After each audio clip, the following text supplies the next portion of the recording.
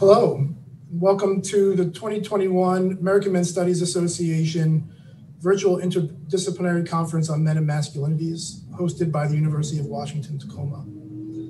My name is Jeff Cohen. I'm uh, AMSA president and a faculty member and administrator at the University of Washington, Tacoma. So excited to welcome you to our 2021 virtual conference. Uh, sorry that we can't be in person, um, but so looking forward to an engaging uh, thought provoking conference uh, throughout the next few days.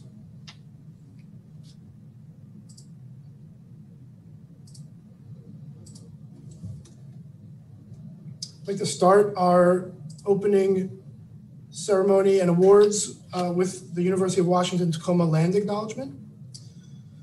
We recognize that all of us at the University of Washington Tacoma learn, live, and work on or near the ancestral homeland of the Coast Salish people.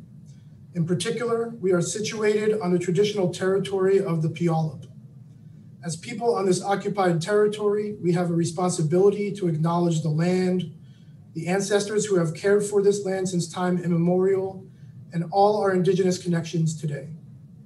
We also have the responsibility to acknowledge the histories of dispossession and forced removal that have allowed, that have allowed for the growth and survival of this institution. In light of this history, let us take active efforts to partner with our Indigenous community members and neighbors as we continue our work together as a community of learners, leaders, and educators.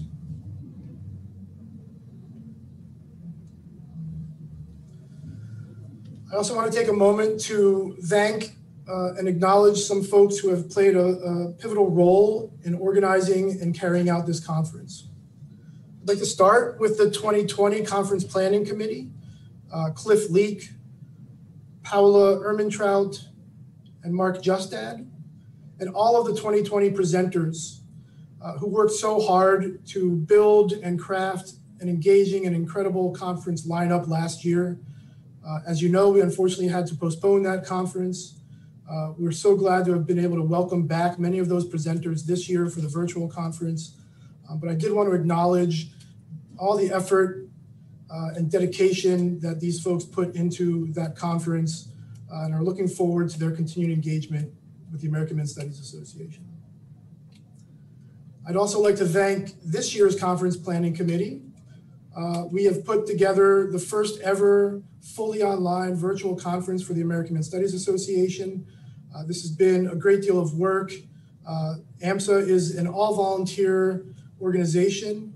Uh, and so these folks, on top of all of their regular job and life, uh, and on top of all that's been going on this year, uh, have, have dedicated time and energy and effort to putting together a, a great program for us. So I want to thank Joseph Derrick Nelson, Mark Justad, Robert Cerny, Krizia Nardini, uh, for their contributions to this, to this conference. I also want to thank our 2021 conference Zoom hosts, Paula Ermintrout, Jamila Del Sharp, Mark Justad, Liedrich Sherman, Joseph Der Derrick Nelson, Andrea Walling, Robert Cerny, uh, for volunteering their time to host and moderate sessions throughout this conference. And last but not least, I want to thank uh, the University of Washington Tacoma Media Support Services staff, in particular Zach Curtis and Noah Kem, uh, for their support throughout this conference, uh, both with technology and also facilitating this live stream with us uh, tonight and the live stream tomorrow with our scholar in residence. Thank you so much for all your work uh, to support this conference. I'd also like to take a moment to honor and recognize uh, the incredible work and impact of Dr. David William Foster. Dr. Foster was the faculty head of Spanish and Portuguese and Regents Professor of Spanish at Arizona State University, as well as a University of Washington alumni who passed away on June 24th, 2020 at the age of 79. Dr. Foster had graciously agreed to serve as the AMSA Scholar in Residence for the 2020 conference, which, as I mentioned, was postponed due to the pandemic. His passing shortly after the conference was supposed to be held is a deep loss for our field and an incredible loss for the many whose lives he touched. Uh, as a small uh, token and illustration of our appreciation for the work of Dr. Foster uh, and to honor his indelible, indelible contributions to the critical study of men and masculinities and the mentorship he has provided to so many through the years. Uh, AMSA Vice President Dr. Jonathan Allen will engage Dr. Foster's work in his presentation entitled Rural Eroticism in Marcos Zimmermann's Desnudos Sudamericanos, uh, which will take place tomorrow from 3.30 to 5 p.m. Pacific Daylight Time, USA, uh, in concurrent session three in a panel titled Art and Literature.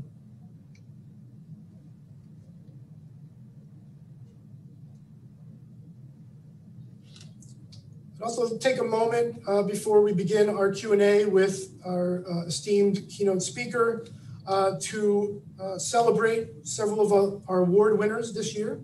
Uh, first is the 2021 Loren Frankel Memorial Scholarship. The Board of Directors of the American Men's Studies Association established the Loren Frankel Student Scholarship Fund in 2005. This fund is dedicated to the memory of Dr. Loren Frankel, a young professor of psychology at Shepherd University in Shepherdstown, West Virginia, who died tragically in an automobile accident in 2004. Dr. Frankel was known as an inspiring teacher, an accomplished scholar, and a respected colleague. He presented papers on adolescent sexuality and male heterosexual identity at AMSA's annual conferences uh, throughout the years.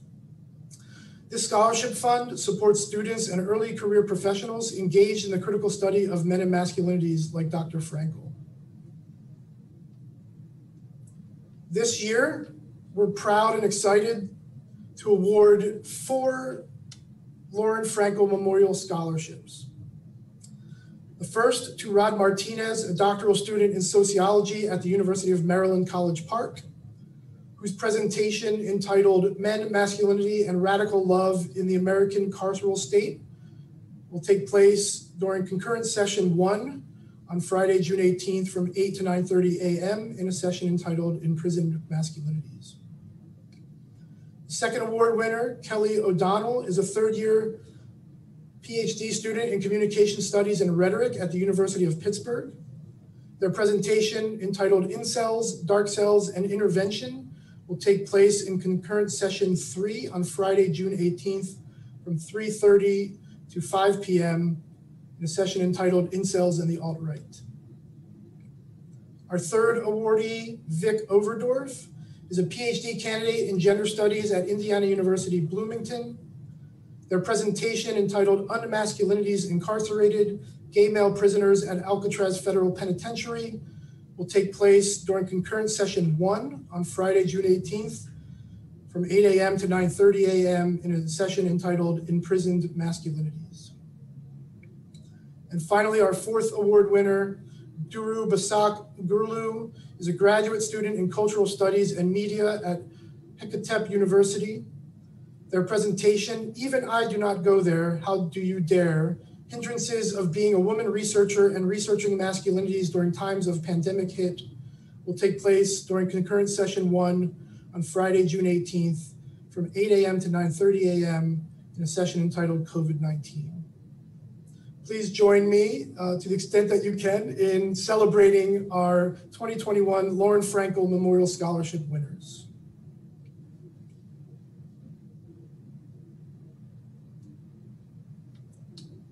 I'd also like to announce our 2021 AMSA Best Paper Award winner. AMSA's Best Paper Award showcases the high quality of papers presented at the 2021 Interdisciplinary Conference on Men and Masculinities. This year's winner, Ian Funk, is a doctoral candidate in English at George Washington University in Washington, D.C. His work focuses on iterations of modern American masculinities. He is currently working on his dissertation, which attempts a genealogy of crip queer masculinity in cultural production from the end of Reconstruction to the current moment. Is their paper entitled America's Disabled Masculinity, Roosevelt, Remington, Wister, and the Disappearance of the Neurasthenic Cowboy as Traditional Masculinity will, will be presented during concurrent session three on Friday, June 18th from 3.30 p.m to 5 p.m. in a session entitled Disability.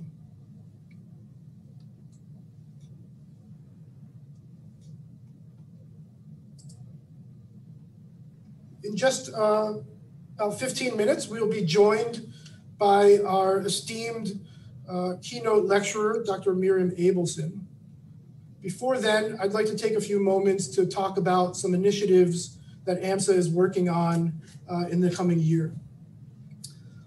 The first is that we'll be seeking uh, and exploring an institutional partnership with a university in, in the United States to help expand our infrastructure uh, and create some more sustainable engagement with members uh, and with the critical field of critical studies uh, in men and masculinities uh, for years to come.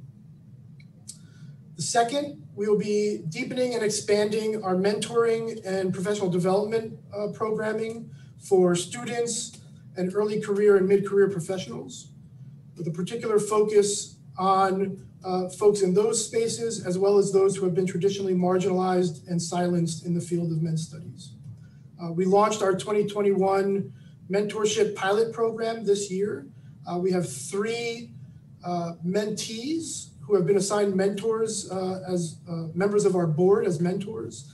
and they're working on mentorship plans that orient around things like publishing, transitioning into higher education, CV development, research, theoretical exploration, um, and networking. We're really excited for this pilot project uh, and are looking forward to expanding this uh, opportunity to members uh, in the coming years.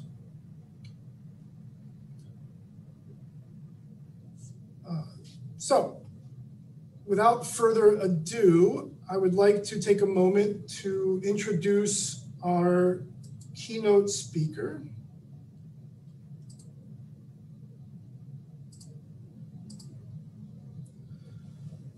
So the American Men's Studies Sam, Sam Femiano Endowed Lecture in Men's Studies uh, is dedicated to Sam Femiano, who was a founding member of AMSA and a mentor and friend to the board and to those entering the field of men's studies. As a therapist, Sam was a passionate supporter of developing a critical social discourse on men and masculinity. He served two terms as AMSA president and two terms as AMSA treasurer and secretary. He also held a seat as an elected member of the AMSA board of directors from 1991 to 2009. Sam contributed immeasurably to the development of AMSA and to its efforts to develop and sustain the critical study of men and masculinities in a rigorous, open minded, inclusive, and mutually supportive manner. The Sam Femiano Men's Studies Lecture Fund is an, endowment created to support an invited men's studies plenary lecture each year at AMSA's annual conference.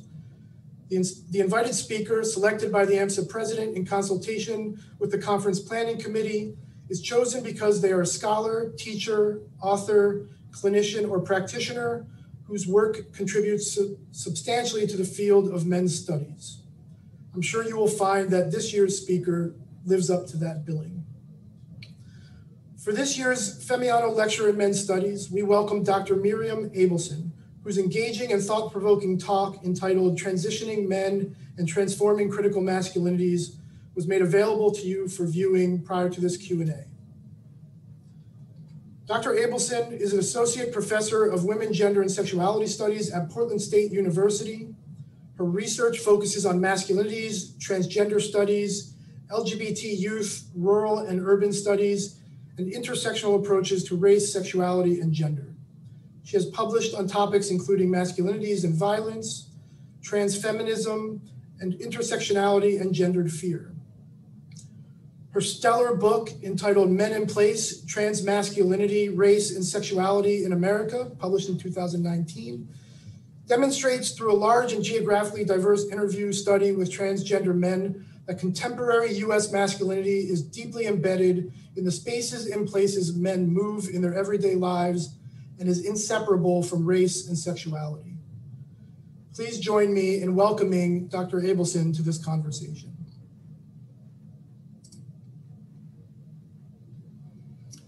So we're really excited to have you here, Dr. Abelson, and I, I was hoping we could start with uh, a question that speaks to a, a, comment you made in your talk and, and really reflects and models uh, the kinds of reflexivity uh, that are so critical in the types of research that we do. And so you mentioned in your address that you weren't sure if you were the right person to do the research associated with your book. I was wondering if you wanted to take a few moments to expand on your thinking there. Thanks for that question, Jeff, and the great introduction. And you know, it's really um, an honor to be give to uh, give the Sam Femiano lecture with that great history of it, and um, just to just join the the conference. I really appreciate all the work that you've done, um, and everyone else to organize the conference. So, um, so why you know why am I hesitant to say that I'm the the sort of right person still? Um, to have done this research, to publish this book.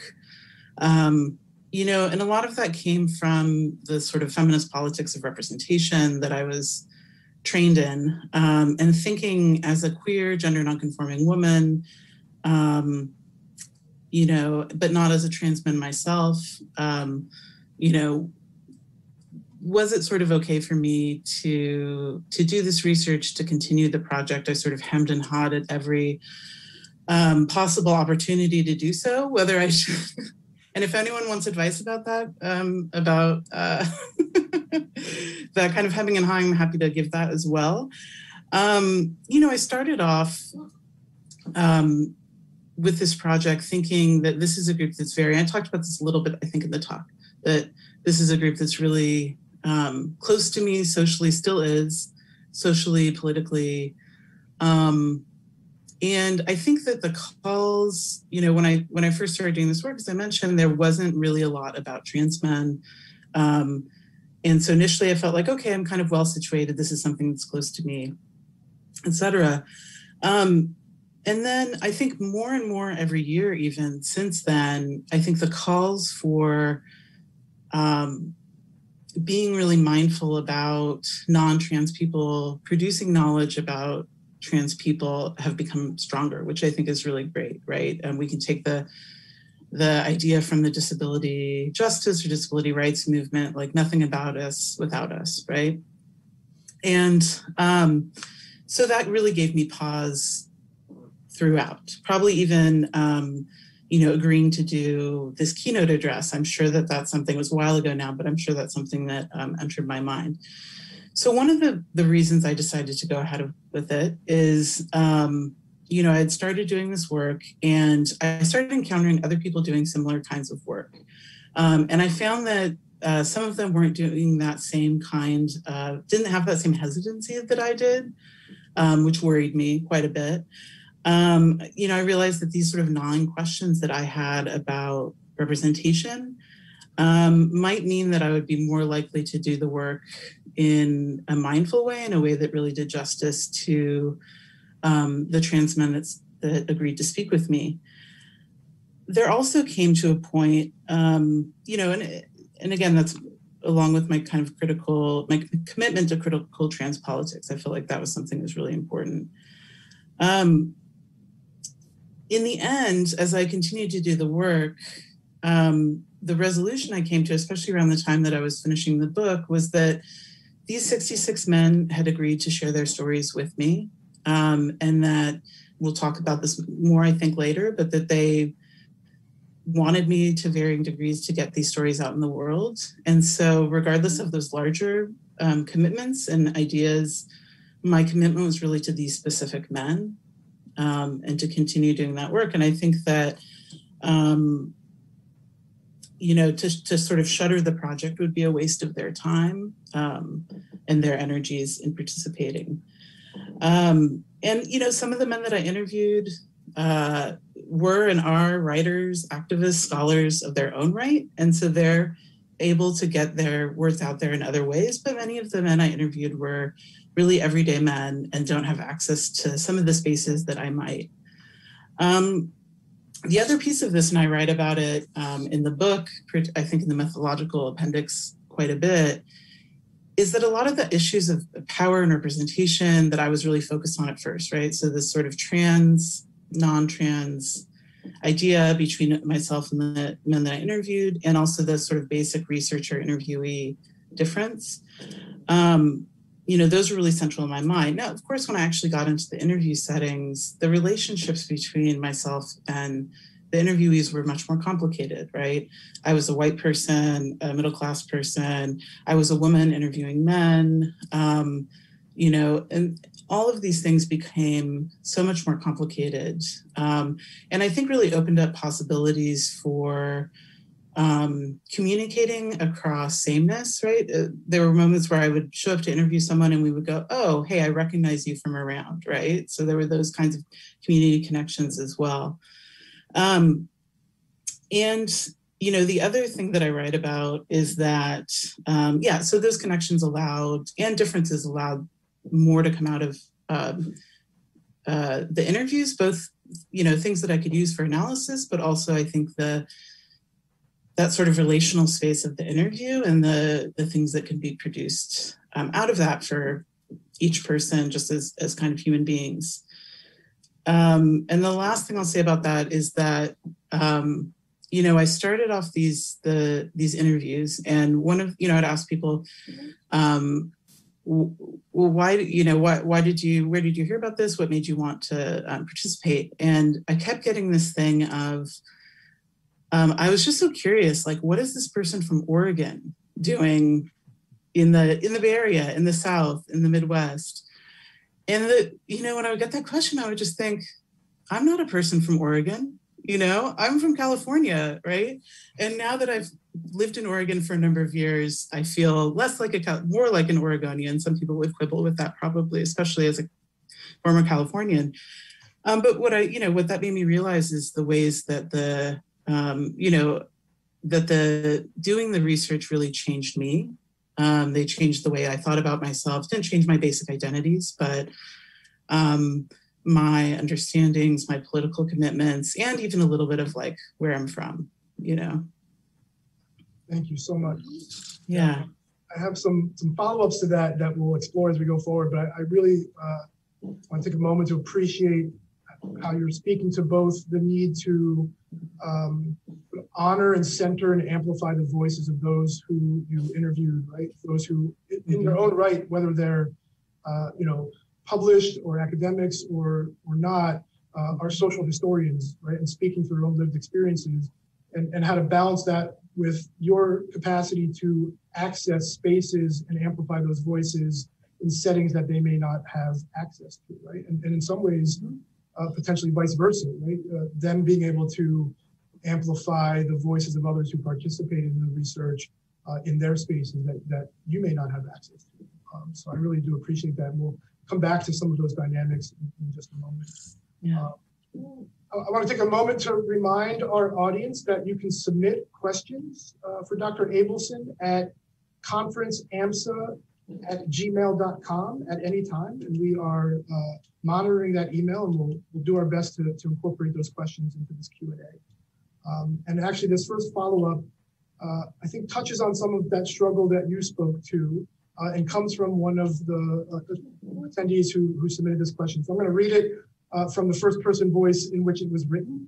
Um, and so just know that the, the I in this question is not necessarily me, although it, it may actually apply. Um, so uh, I am a cisgender, heterosexual white man who studies various topics related to gender and sexualities, including the experiences of sexual and gender minority persons. I am often told by my queer colleagues that my contribution is a valuable one. However, sometimes I feel that I can never know what it is really like to walk in the shoes of my participants. My question is this to what extent do you think that allies are important in the field of gender and sexualities? Do you feel that we should limit our research to those experiences that we know more intimately, or are, or are contributions from, quote, outsiders valuable? Moreover, in what ways do our personal experiences both assist and hamper our abilities to study groups, which we are an insider outsider to? Mm-hmm. Yeah, and thanks for that that question from the audience. Um, you know, it was interesting early on when I, uh, I guess throughout when I, you know, I did the recruitment for this research over about um, three or four years, and the, some of the language may have changed on my flyers and and what have you, but one of the things I was always a little hesitant to use was the word ally to say, you know, when I was sort of explaining who I am to gatekeepers or anyone else, um, because there's there's like a little bit of a taint to that word, right? Um, well, what do you mean you're an ally? Um, and there, you know, we many of us, I'm sure, are familiar with conversations about like ally versus accomplice or or other uh, other ways of rethinking that relationship. Um, but you know, and I'm not going to go too much into all of that. But I think that that question is so important because, um, you know, if we only do work on those that we think are like ourselves, mm. um, that really limits, of course, um, the knowledge that's produced. Um, it really limits, um, you know, in so many uh, fundamental ways you know, it also, I think, and this was part of my own calculus at moments of thinking about if I am more privileged in particular ways, how might I utilize, and I, and I really want to utilize that privilege in a critical way, how might I do that um, through working with um, communities that are not my own? Um, so I found that, you know, I couldn't, I didn't use that word ally, but I would try to signal that I was an ally um, through the language that I used, through the conversations that I had, through being willing to, you know, I remember one person who acted as sort of a gatekeeper to a community um, in the Southeast. You know, we had a two hour phone conversation um, before he would allow me to, you know, to agree to, to help set up some interviews and then still like met me at a gas station to sort of check me out and I had to follow him to the place, you know, to which is fine. Like who is the who is this person from Oregon, right? Um and you know, so I so I I think that ally is most useful when we think of it as an unstable category, right? As something that we're that we're striving toward, um, that that we're very aware of. So, and, and to answer clearly that basic question of, do I think that people can, you know, straight cis people can do um, work on gender and sexual minorities, on LGBTQ plus people? Yes, sometimes, right? But I think again, it's that kind of critical reflection um, that is really necessary, even more so when we um, try to create knowledge about groups that are not our own. Um, and you know again and well and i'll also say that you know we should have some of that critical lens when we make assumptions that we can study the groups that we think we're a part of too um, but particularly for for this kind of work i would say the questions i might ask myself um, are you know am i drawing on not only am i doing interviews or surveys or focus groups or what have you um, with that group but how am I incorporating and relying on the knowledge that's been created by that group? So, in academic spaces and activist spaces, am I really doing the work, um, you know, not just to sort of study people, but to understand their own knowledge production um, that comes through all of those venues? Um, have I really done the homework? But then also at the same time to approach it with humility, of course, right? I'm not the first person um, that said something like that. Um, you know, I think that's partially about um, doing things carefully.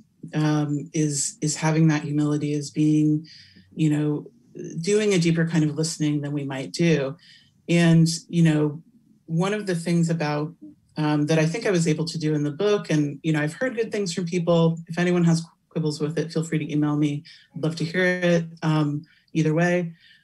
But um, there's something about, you know, doing interviews with 66 trans men and being able to um, recreate some of the conversations that are happening within communities um, through, you know, those multiple voices. And I think that's a really key thing to do of to figure out where your political commitments are, um, you know, and find some alignment within those communities, but also to have an openness to these larger dialogues that are happening um, within the community. I think there's also, and again, you know, I think there's a lot of discussion about this that when we're doing this work, um, you know, as an ally, we want to think about the material considerations of it. Um, so, you know, have I materially benefited from doing this work in various ways? Absolutely. You know, um, you know, all kinds of ways. Um, but you know, I also am really um, conscientious about the kinds of opportunities that are offered to me that I um, am probably not the best person to do. So, for example, I don't do Trans 101 um, presentations. Uh, I can do them, you know, um, but I have the knowledge to do them. But um, there are, you know, many people um, who, trans people who have that knowledge and who have, you know, careers or, or aspiring to careers where that's part of their work. And so some of that is, is directing um, that attention and that work that way. Um, I'll also mentor and give opportunities to students that are interested in that kind of work.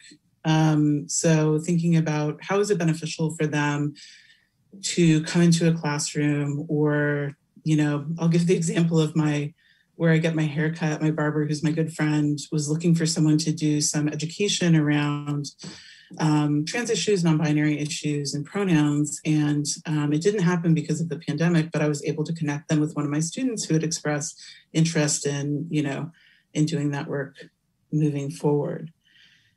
Um, so yeah, I mean, I think those are the key considerations when entering into that. And um, you know, I also for myself I, am just okay with like being beat up a little bit sometimes um, not being a you know victim about it all the time, right? But um, you know, getting a little flack, getting some mistrust, which I certainly get in all kinds of you know research that I do. Um, yeah, I'll, let me add one more thing before I wrap up because I'll just go on and on about this question. But I think even about some research I'm doing in um, rural areas in uh, Idaho and Eastern Washington, um, a project that I just wrapped up and which is true for the project with trans men as well of really talking to the people and seeing like wh- where do i enter this? What's been done already?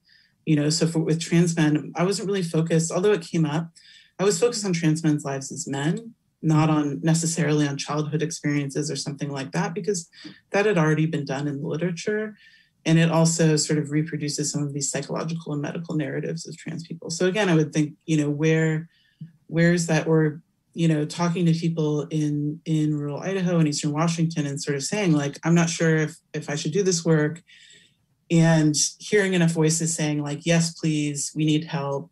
Um, no one cares about us is what a few people said to me and here are the things that you can that would make that actually helpful to us. Thank you for that. Yeah. Uh, I'm, I'm, really impressed. It came through in um, your recorded presentation and it's coming through again here in your responses. And, and one of the, the through lines that I'm seeing is this real um, commitment to um, sort of self criticality and understanding yourself in those spaces um, and how that interacts. Right? And, and, I'm thinking about the spaces. I'll ask a question in a moment about. Uh, I think you spoke to how that shows up in spaces where you're presenting your work and talking about your work. It shows up in the spaces uh, in which the work is happening and the interviews you're doing. Um, and I think uh, we'll get to this a little bit later, but really appreciate the conversation around how this shows up uh, in how you understand yourself as an educator, as a teacher uh, in the classroom. And so I really appreciate, um, as someone who uh, does similarly qualitative work, to, to be thinking about the self in relation to uh, those and others, but also to the spaces which I think is a contribution that you make here that, that is really important. Um, Thank you. Yeah. So I'm going to ask this question. You, you touched on it a bit already, so feel free to, to simply say, I'm good. Uh, so, uh, you know, you mentioned in your uh, talk that one thing you learned through talking to people about your research and the stories of trans men that you interviewed was that you uh, were operating with a particular knowledge of gender and that both your own gender knowledge as well as the knowledge of the people asking questions are spatially specific. Mm-hmm. I'm wondering if you might um, kind of tease that out a little bit more and, and, and talk a little bit more about that connection between uh, those gender knowledges, your own and others, and how they are spatially specific. Mm-hmm.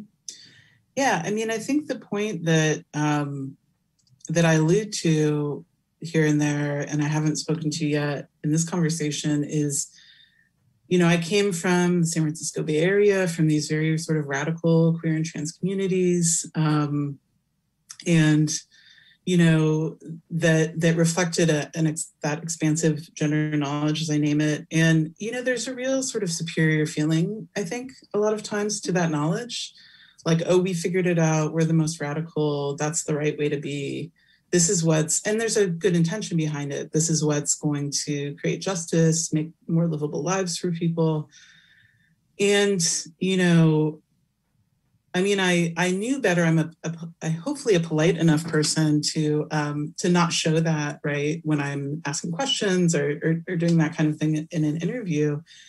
Um, you know, but it was really striking to me that I think that you know the ways that, particularly in rural spaces, but I think this happens in in all kinds of spaces that this consider and as I said in the address, you know, it's this way of conceiving of rural spaces as backwards, as ignorant, as in need of urban people to come and fix them. And, you know, that's really a colonial mentality, right? Um, these people aren't able to govern themselves. Um, they need someone to come in and save them and, and, and set things right. Now, that doesn't mean that these those more restrictive knowledges don't harm people. And so I think that, um, you know, and I certainly encountered um, men that I interviewed that I like disagreed with things they said, although that was maybe across urban, rural, and suburban spaces, um, and they were they were a minority of the the people I interviewed. Um, but by recognizing my own knowledge, and maybe we might talk about this later when we talk a little bit more about teaching, but recognizing my own knowledge and that it was that my own taken for granted assumptions, I think allowed me to produce something, to understand where others were coming from, and to produce something that was really different if I had kept that sort of metronormative, um, urban centered, centered um, narratives. And I think, again, the solutions, I'll probably repeat this about five times, um, but that the solutions to making, bettering people's lives come from those local knowledges you know? Maybe maybe shifts need to happen in them but they have to be shifts that that are relevant to that place and to those people the histories and the culture of them. Great. Thank yeah. you so much. Yeah. Yeah. I think we'll, we'll come back to some of what you spoke to there in terms of engaging uh, sort of within and across uh, degrees of gender knowledge and, and how mm-hmm. those uh, how that plays out uh, in just a moment. Um, just a reminder for the audience, we are uh, receiving questions at conferenceamsa at gmail.com. Questions are coming in, so uh, if you do have a question and you want to make sure you get it in, send it to that email address and we'll do our best to get it in. Um, and so you know, that first set of questions uh, was really oriented around reflexivity and understanding the self and, and your engagement with this work. We're going to shift now to some questions uh, around kind of the theory and the content of, of what you developed in your work and presentation. And I'm going to start with a question from an attendee, uh, one of the attendees that was uh, submitted. Um, and they're asking about the, the uh, comment you had around severing uh, masculinity in biology. So again, I'll, I'll read the uh, question as it was posed by our uh, attendee.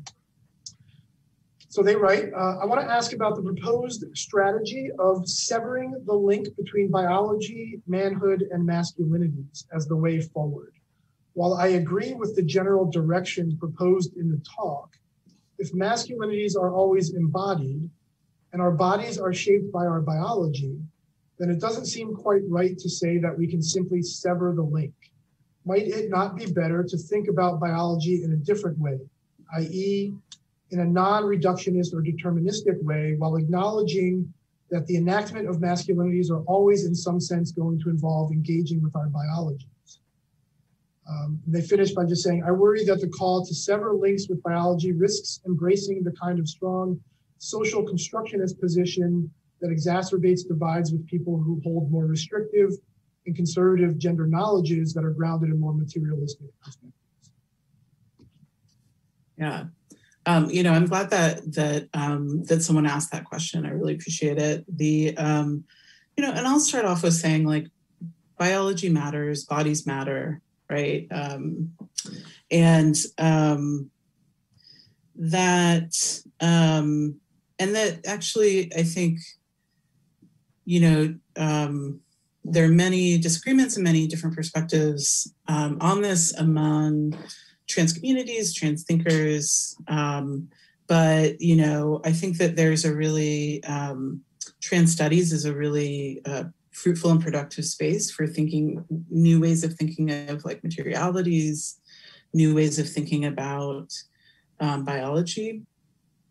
Uh, one of the things that I want to um, what I'm thinking about when I say sever this link is um, is that you know this point when we're always starting there, right? With but with the primacy of biology, I certainly embrace um, you know thinking about more non-reductionist or non-deterministic ways of thinking about biology, but I think that to really shift um, our practices as masculinity scholars or in all kinds of fields or in our practice in our politics is by perhaps turning the question of biology into an empirical question, right?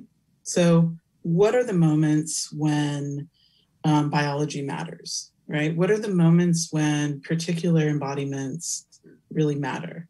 Um, and I think the you know one of the the points I was trying to make in the talk, and I make um, in my book is that you know often those those don't matter right? Um, that these social experiences that constitute what it is to be a man what it is to be masculine although of course they're always linked to notions of biology um, you know people aren't always looking under people's clothes or even if they are they're reinterpreting their bodies in these unexpected ways right? And wesley's story if you listen to the talk really stands out. Um, you know, when he told me that story, I was like, oh, I think I'm going to be telling this story for a while, right? Um, but his wasn't the only story like that. Um, and so I think that it wasn't just the exception. And so I think that it's really key to um, sever that link by flipping the order, right? How do we put um, these common experiences, these common social experiences first? And then, and I think this lesson really comes from, you know, radical reproductive justice movements of how do we even look at bodies as like shared experiences? Um, I know people on the right make fun of this now, right? If we say pregnant people or um, whatever, but I think there's something really useful um, to have services, to have spaces that can cater to people that have similar kinds of embodiments, right? Um, and um, similar kinds of embodied experiences. And when we start with biology, um, it limits both those those kinds of shared experiences and then um, understanding these sort of these shared social experiences. Um, so I, you know, of course, my interest in space and place is again how how are these constructed, when and where are they constructed in particular ways.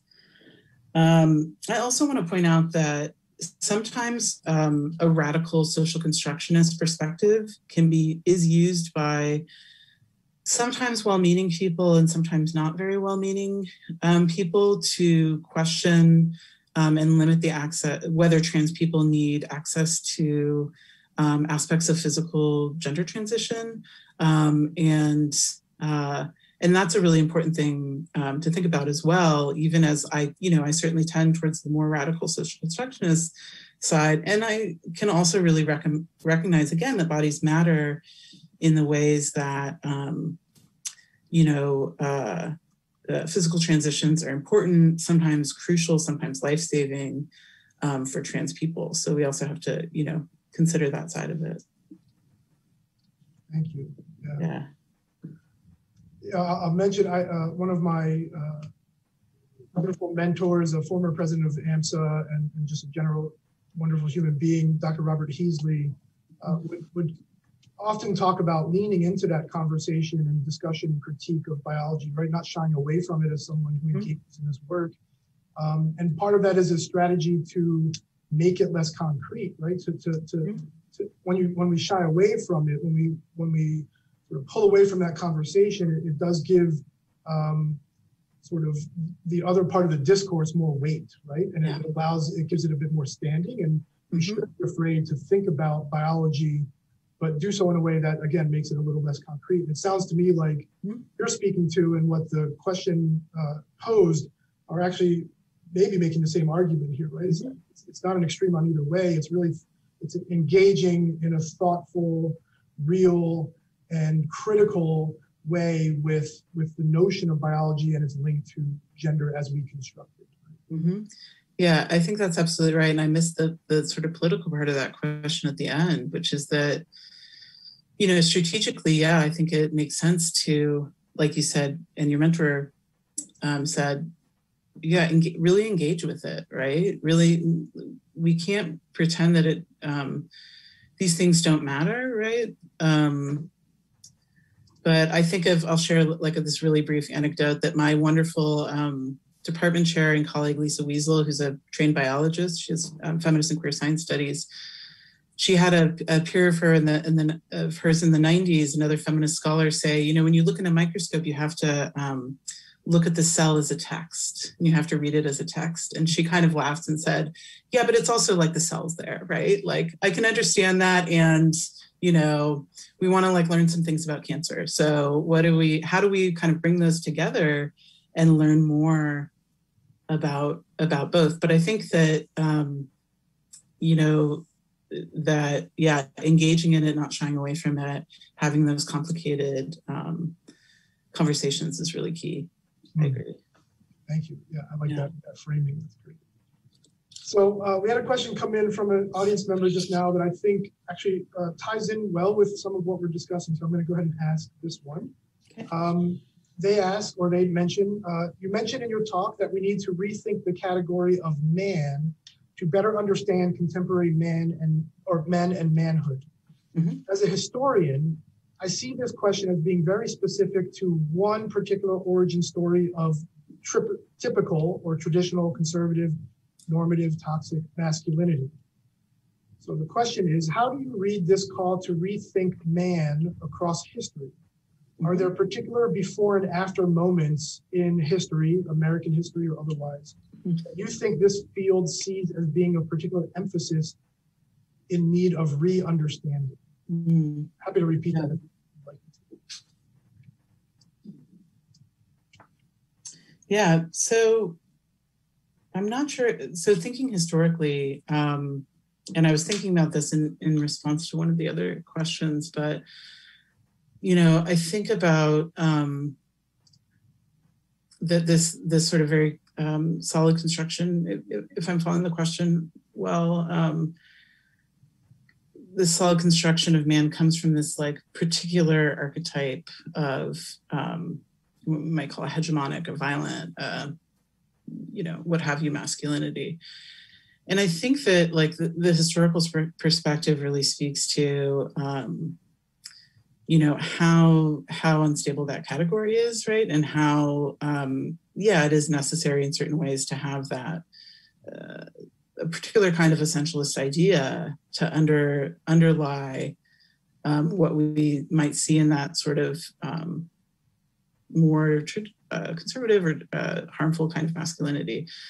Um, you know, I really think about the work of um, Emily Skidmore's book that came out in the last couple of years that looks at, um, I mentioned it maybe in my talk actually, um, that looks at the everyday lives of trans men in um, early 20th century US um, as one example of thinking about how this category that we think that's that some might think was really solidified in the past um, was also always under question. Um, you know, and of course, I think about something like, um, you know, Maria Lugones's idea of the colonial mo- modern gender system to think about the ways that our gender categories are always, you know, are sort of a product of.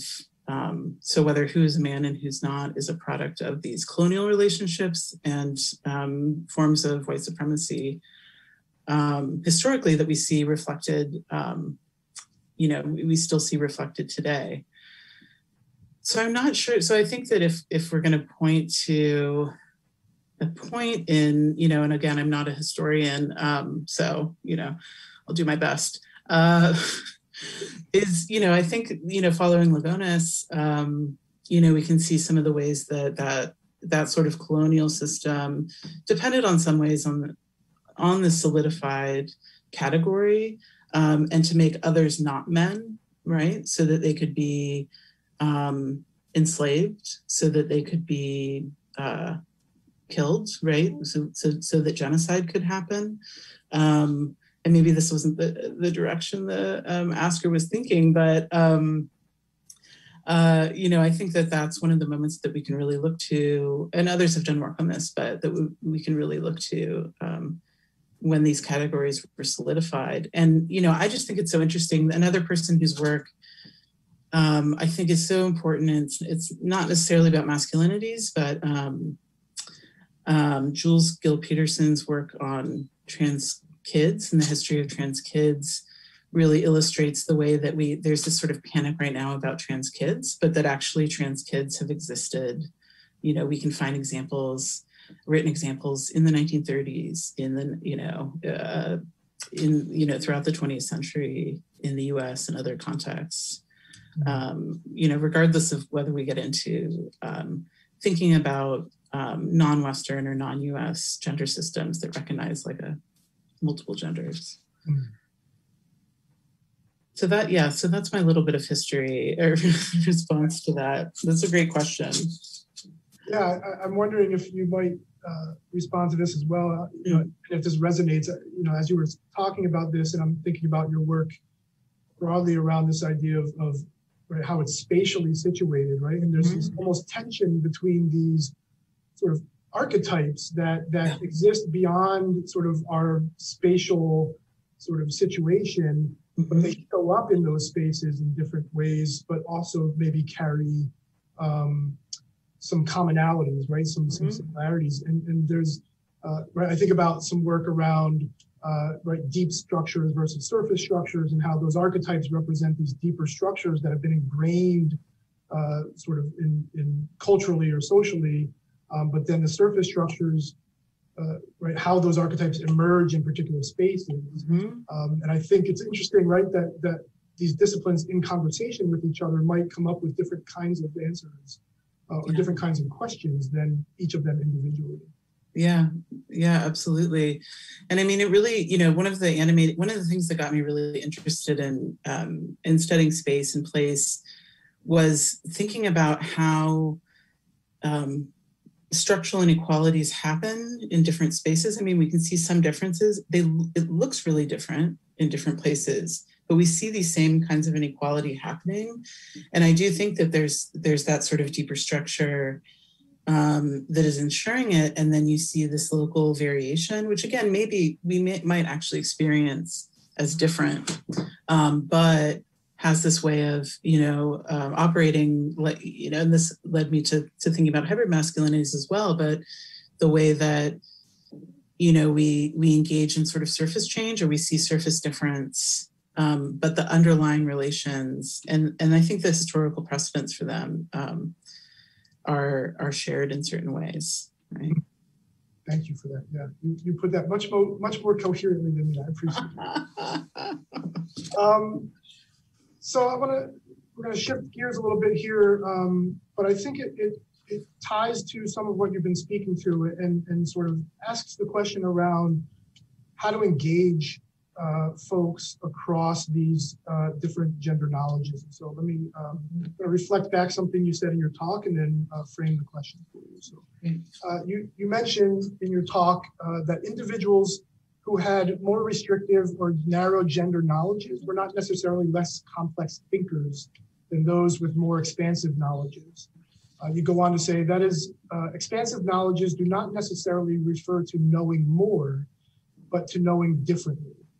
Um, you know, I, I, I, found this particularly important uh, as it speaks to this dynamic of honoring the lived experience of individuals within the context of the spaces in which they're engaging, right? Mm-hmm. And also the need to engage with those who think differently, right? Or resist more expansive knowledges with, with respect uh, in a sense of genuine curiosity, right? Mm-hmm. So I'm wondering if you could talk a little bit about how you or, or others that are listening might work uh, to do that, to both honor the experience and thinking of those who hold more narrow, restrictive gender knowledges, while Mhm. also working to expand those those gender knowledges for them. Yeah, that's great. And I, you know, I think about, I particularly was thinking about the classroom with this question, um, thinking about the ways that, um, you know, uh, well, one, I was thinking about again, like rural rural students, you know, and I'm in an urban university, as I know you are too. Um, of um, you know, rural students will often come in and they hear, um, you know, uh, rural LGBT students, but I think also we can think about, um, you know, rural students who do masculinities and they see, you know, their the places they're from sort of demonized um, in many ways of like, okay, this is the source of of all of this, and that and that relies on that restrictive gender knowledge. And so I think that um, the thing that that that I've realized in my teaching practice is that one of the ways to unseat that is to ask everyone to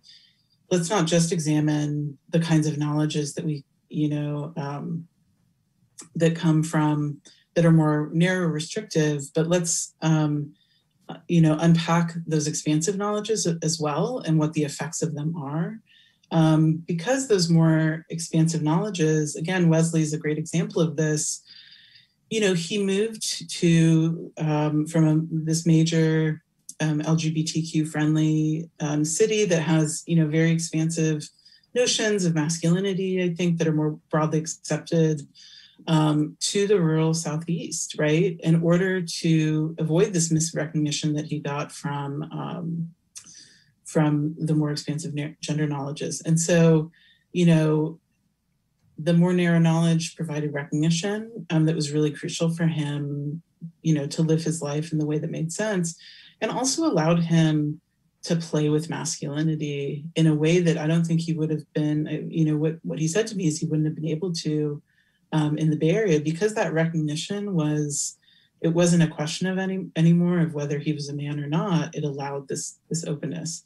So I think that um, again, in practice, bringing in those, um, asking everyone to unpack those assumptions and what the kinds of effects of them are um, is really key. Um, and um, and to sort of take on um, the approach of others. And and a lot of this, I think, and I'm I'm guessing I'm not the only one here that takes this kind of approach, but you know, I try to, it varies in, in different courses, but try to take an approach that we're co-creating knowledge in the classroom um, so that you know it's not just the banking model right? I'm not just i know some things um, but it's not just me uh, you know sort of spewing knowledge that the students will regurgitate. And um, you know we also one of the things that we established along with that and it, it differs depending on the course is like a shared commitment to justice for all people um, and I, you know, we we don't define that. That's too much to define in like the first day of a class. Uh, but we we talk about that. Okay, we're all working towards that, um, and and working towards bettering our world. And I think that allows people um, room to see, um, you know, what what might be available to them in a more expansive knowledge, um, not just for themselves, but for for meeting some of those goals around justice and around um, bettering people's lives. I also think that um, be a little cheeky in the afternoon here. Um, you know, I mean, I think that some of the things that I teach in a gender studies course are they're like a real bummer, right? It's like everything that you know about your gender and and whatever else is terrible, you know, we have to change everything. And and like you're taking, you know, it's it's hard work to to challenge those taken for granted assumptions. Um, and so, you know, and I'm inspired by, uh, you know, a number of different people on this, but um, I think also to not only see what are the benefits in terms of recognition of these varied kinds of knowledges, but what are the pleasures that we take in gender. Um, you know, it's um, it's not just this bad thing, right? So like, where, how can we create a new knowledge together that has more, is expansive, recognizes um, different ways of being um, so so that wesley would be recognized as a man but also allows for pleasure allows for play um, you know, allows for all those those things together. Feeling very utopian, I think, right now, but I love it. It's good to good to find those spaces where we can uh, yeah celebratory and, and, acknowledge joy, right, as well as um, mm-hmm. harms. Yeah. So I, I, have some other questions that have been coming in around sort of the theory, but I actually want to maybe take a moment to, to continue down this path. Uh, you know, you spend a good deal of time in your talk uh, unpacking some of the ways that we might engage this work as teachers and in the classroom. Mm-hmm. Um, and, and frankly, we didn't prompt you for that, but uh, I'm so incredibly appreciative. Um, and as you know, and others may know, that uh, AMSA really has a, a, commitment to creating opportunities for mentorship and professional development, you know, especially for students and early career professionals. And so it was it was just great uh, to hear you talk about how you translate your scholarship and apply that within the context of your teaching. So I thought maybe we could explore a few questions around that, uh, and then we can circle back to some of those more theoretical questions uh, if, if, we have time towards the end here. So. Um, so uh, let's see. Here we go. So thank you. Uh, so I'm reading my own question. Try that again. So uh, you offer an interesting discussion around how your own and others' teaching can be informed and enhanced by adopting and applying an intersectional lens to the teaching of critical masculinity studies.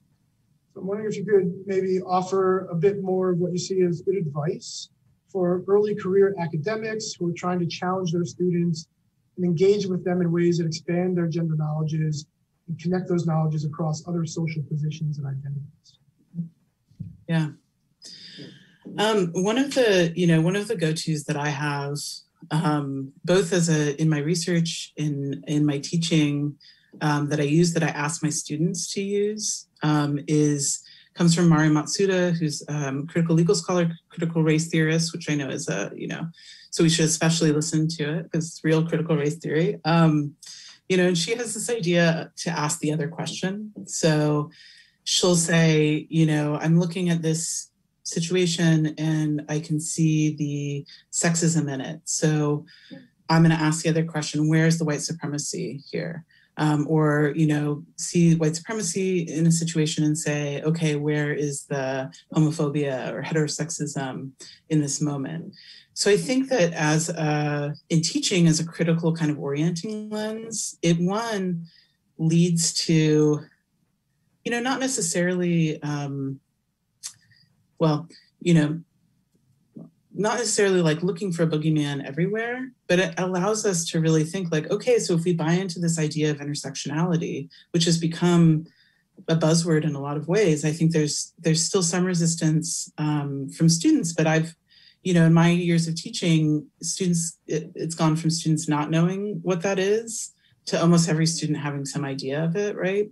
Um, and again, I, I, I teach in Portland, so that might affect it, but um, so really coming in with that, which I think one allows us to, as we're looking at these different knowledges, as we're unpacking them, to really think about how are they they co-constructed, how are they co-constituted, how are these systems actually interlocking, right? We could I also use like Patricia Collins matrix domination is really useful, I think, for that as well.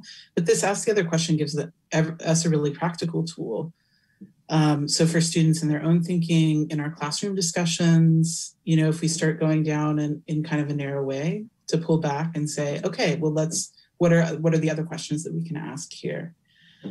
Um, and I think that um, I also try and set up my classrooms in a ways that, um, you know, with a discussion about the ways that learning new things and challenging our, our beliefs can be really unsettling um, and I sort of ask students to, in the classroom, um, they don't have to change their mind about things, but they have to learn the perspective of the discipline and what, what that lens might provide. Um, and so as part of that, um, I do a lot of reflective work where, um, and it's not necessarily things that students turn in, but asking, um, you know, what kinds of reactions are you having, right? Um, so if if you know, I could say to people who watch my address, you know, if you're having a reaction to like trans men or men, right, or or that you know the um race you know racial difference might be more important or racial similarity might be more important than like a trans cisgender divide i would say like okay let's uh, you know let's like recognize what you're feeling and like what's behind that right? And what are you invested in you know and i ask my students this like what what does this ask you to change about yourself? Because it's not neutral right? Um and then um, the other thing I'll say is that for those early career scholars, um, you know, find people who support you in doing this work, um, colleagues, mentors, etc. And I think it's a particular if you're in an institution, it's really important to find people in, in your institution that are going to support you because you know there's lots of research that shows that things like course evaluations are really you know really biased and you know don't really measure necessarily learning they measure you know um, customer satisfaction but we often don't have better tools and we often can't um, change the institution especially when we're early in our careers so um, you know having supportive um, department chairs having supportive people in uh, a dean's office or or above that know that you know you're doing this work that may be challenging to students and that your course evaluations should be um, and other sort of markers should be taken in, in into consideration there. Thank you for that. I really appreciate both the sort of conceptual thinking about how to engage students, but also the, the concrete on the ground uh, sort of steps that we need to take both individually, but also institutionally and as a field to be thinking about these things. Um, put a plug in that we hope that AMSA becomes a space or is a space in which those kinds of advocacy for our members and for others can can happen, right? So that we can help transform institutions to be more supportive in these ways. Um, I wrote down the question that you ask your students, which I love, and I hope others take with them, which was, uh, what does this ask you to change about yourself? I think that's such a mm-hmm. great way to reframe the conversation because it's oftentimes that it's it's a reaction, right? It's not it's not so much about what it is you're saying; it's about what you're saying in the way that it impacts me and asks me to to contribute to a solution. Mm-hmm. Really yeah, and something sometimes those things are hard to give up, and sometimes they're not. You know, sometimes it's just a, a different shifting to a different knowledge. Yeah. Yeah. So this question came in from uh, one of our audience members, and I think ties to what we were just discussing. So. Uh, like like most questions from us uh, academics, it is a bit of a paragraph. So we'll uh, let me know if you need me to, to reread it. Uh, so one of the things I appreciated about the lecture was the idea of the special guest. So we talk a lot about interdisciplinarity in our field, but I'm struck by how committed the field is to the social sciences, and perhaps most especially sociology. For instance, most of the journals and most of the textbooks are edited by sociologists Perhaps theoretically, at least, I want to ask about diversity and diversifying how we are thinking about masculinities. What is the role of disciplines beyond the social sciences? For instance, what is the role of poetry, the novel, the visual arts, etc.?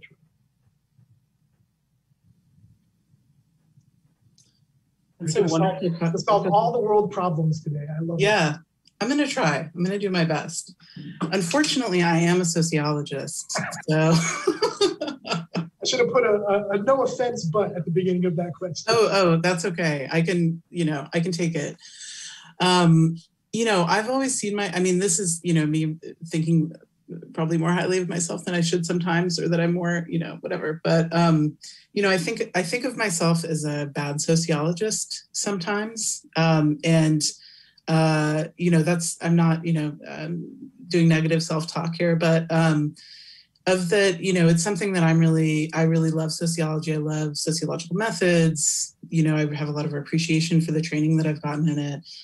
Um, and I also am just not a person that's like interested in defending the borders of sociology against other things. I think it's doing fine on its own. Clearly, in this in this subfield, it, or this masculinity studies, it is.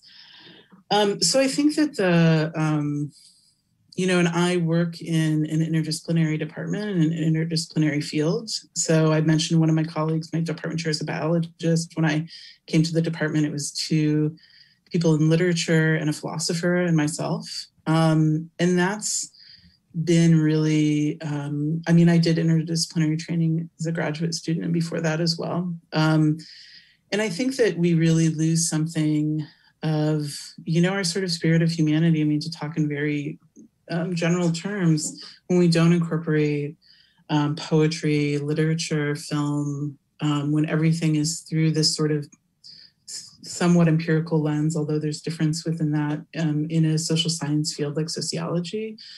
I mean, I think there are spaces, this is part of what attracted me to geography, um, and that I think that in cultural geography, there's a lot, there's more space than in sociology for doing social science inflected work that is very much influenced by cultural studies and humanities. Um, what I think that is needed in general in terms of thinking just about these disciplinary questions and the dominance of one discipline is um, again to be able to take the perspective of others to understand when we're using the language of our discipline um, of a particular um, discipline and when and how we can understand the language of other disciplines um, you know i think about i mean one example history kind of straddles um, the social science and humanities um, and I had a historian, wonderful historian on my dissertation committee, and she said to me one time, you know, do you really need to have a methods chapter? Um, and and I was like, yes, the four other sociologists are going to demand a methods chapter from the sociology PhD. Um, but you know, one of the lessons that I learned there is like, oh, okay, so like this is this is another disciplinary perspective. And when I teach, um, I for our School of Gender, Race, and Nation, I teach a critical um, Critical and Decolonizing Methodologies course. Um, as a sociologist, I think I'm well suited to do it because we're really interested in method and um, and thinking about that. But I've really had to expand the way that I think about methodology. Right, in, in the humanities, methodology can be a way of reading, um, and that I can see that knowledge as um, as valid as you know what I gather from doing um, interviews. Right, it's it's a different kind of knowledge. Um, and I think that's key as we're training people. Um, so one of the things that I really emphasize in that course, I keep bringing back to teaching, but um, is asking people there's you know these things that can happen in interdisciplinary graduate courses where people feel like oh i don't know anything or i mean maybe disciplinary ones too but what i i really demand that um, or really at, strongly ask that people explain themselves right so if they're using terminology if they're referring to a particular set of theories um, that they need to explain it to people that aren't from that discipline. Um, and we have the conversations we have are much more rich. And what I've noticed is it allows me and it allows all of the students to really expand the materials that they're using, the perspectives that they're taking, um, right? So, how can we do this more innovative work that actually not just bring um, you know more poetry into the sociology journal, but um, ways of thinking about um, you know, uh, literary analysis and cultural studies that will improve, um, yeah, our thinking in general. Thank you for that. Mm-hmm. I, I uh, as an aside, I resonate with your uh, framing of, of bad sociologists. I think I'm, I'm, a criminologist, so I think our entire field has been defined by sociology as bad sociology. So that's okay. Yeah. Yeah. and, and, I'll also put in a gratuitous plug here. Uh, thank you, whoever asked this question. Uh, tomorrow's Scholar in Residence uh, talk is going to be preceded by a, a, poetry performance by John Gavin White. And so, again, I think an example of where um, we need to bring those voices and those ways of knowing into these uh, what are oftentimes more academic spaces. So, I appreciate your response to that question and to the, to the question itself. You've been really generous with your time. I have a, a couple more questions, if that's okay. Sure.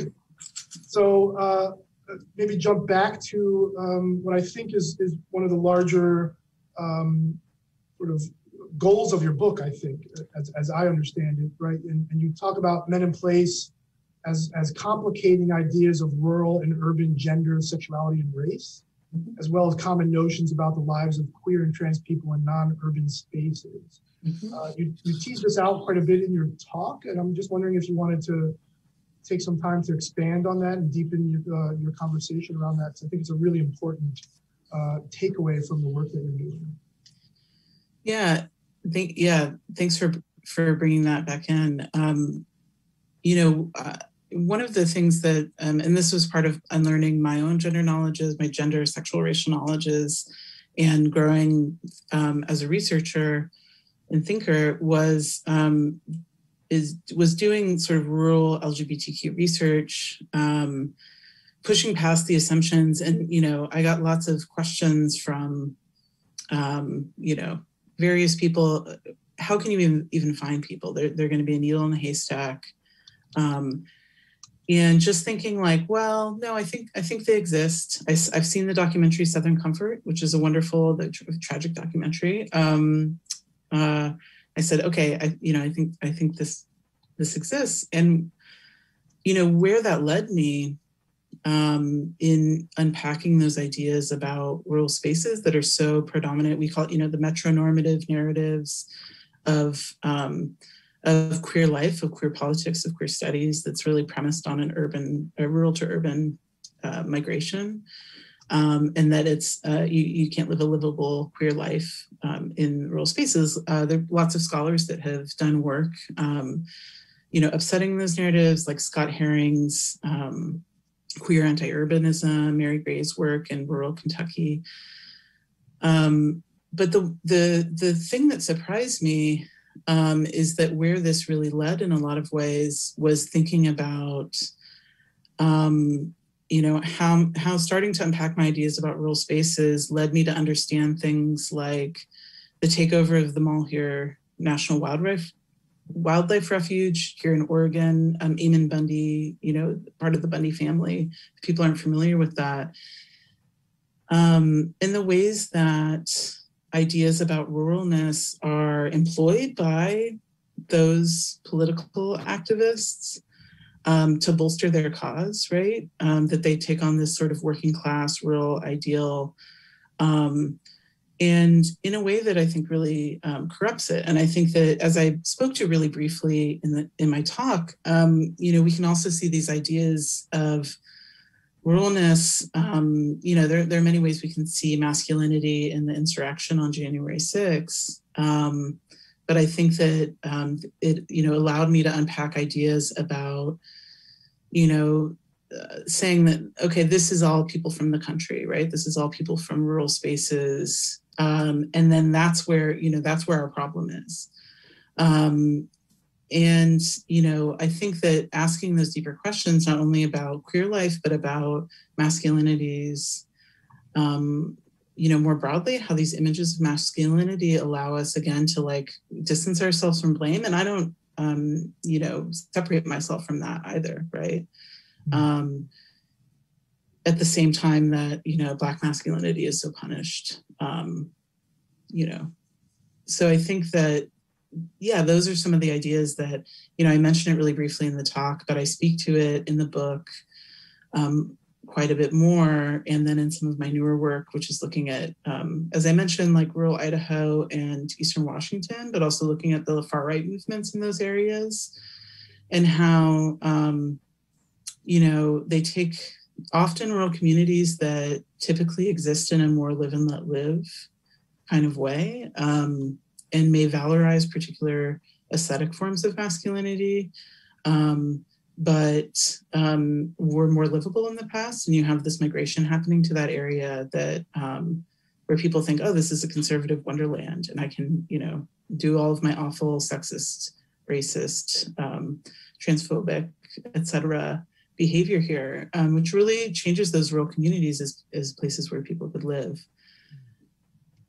And at the same time, of course, not to make it, you know, I haven't said neoliberalism yet, so I don't think so. I'll say that in the same ways that we've really, um, you know, rural communities have really suffered um, under neoliberalism, have really been hollowed out, um, as as a number of people write about. So I think that um, you know, some of you uh, live in rural communities. Um, you know, others, you know, are likely to live in urban, urban or suburban spaces. And I think that the thing that I w- just want to emphasize is that there's a really important form of solidarity um, that needs to happen between those spaces. So when we're thinking about men and masculinities, certainly LGBTQ issues, but just um, thinking about our general, um, our, our research and our political commitments as well. That's something I really learned. Thank you so much. Yeah. You've earned back your uh, sociological bona fides because you did you did get neoliberalism back in there. So, so uh, you know we're, we're just about out of time. I want to ask what I think are two uh, more fun questions. Uh, you can feel free to answer one, both, or if you prefer not to answer either, that's perfectly fine. Okay. So the first is, uh, you know, this has been and continues to be a difficult time uh, across a, a, lot of different uh, aspects of our lives. Mm-hmm. Um, but I'm, I'm, curious, what brings you joy these days? What what is it that you celebrate? And, and this ties back to some of your points earlier around making time to, to embrace joy and celebration. Mm-hmm. Uh, and then the second one is, what's what's a you know a piece of popular culture, movie, book, writer that you're engaging with at the moment that you'd love for others to sort of explore and think about? Mm-hmm. Um, those are wonderful questions to end with, and I love thinking about them. Uh, things that bring me joy right now are um, my garden. Um, you know, seeing the there's something about um, planting bulbs. You know, in a time that we had to plant our bulbs last fall, um, and you know, there's a lot of hope in that. Mm. Um, there's a lot of hope in planting the tomato plants and the cucumbers and whatever. And so I'm just feeling a lot of, we're going to have a little heat wave, so I'm a little worried about things. But seeing the bulbs come up this year, I did a layered bulb pot, um, which I don't know if you know, but bulb lasagna is the other name of it. Um, and it just worked, I, which was inspired by Monty Don, who's a British gardener, who has a show called Gardener's World. Um, and that was just just absolutely brought me joy. And then um, you know through vaccination um, being able to hug friends again is the other thing that in some families the, the thing that is bringing me joy. Um, i've been watching two very different um, pop culture things right now um, but i think there's something to be learned from both of them. And so the first one is um, rupaul's drag race which has its problems but is very fun. And it like some seasons of it coincided with like when I was in graduate school and pre-tenure and so I didn't watch a lot of it. So I've gotten to like catch up. And I was like oh that's that's the lingo that my students were using like five years ago. Now I understand what they're saying. Um, and the other one is the show alone which is yeah it's really I mean it's it's int- really interesting you know so in this show people go um, and are alone in some wild place in the Arctic, on Vancouver Island in the Pacific Northwest, and they have to survive as long as possible, you know, with a few tools and their wits, and they they're totally alone. Um, and so, I mean, they're just really, really interesting things that happen. Um, I'm always thinking about gender, of course, and sexuality, and I think both shows, like next to each other, really offer a lot. So, yeah. Thank you so much for, for playing long while I sprung those questions on you. Um, those are great. I, I, can't tell you how appreciative we are that you agreed to come back. You were you were going to be our uh, speaker last year and be postponed, and it was such a great gift that you were willing to come back and engage with us in this way.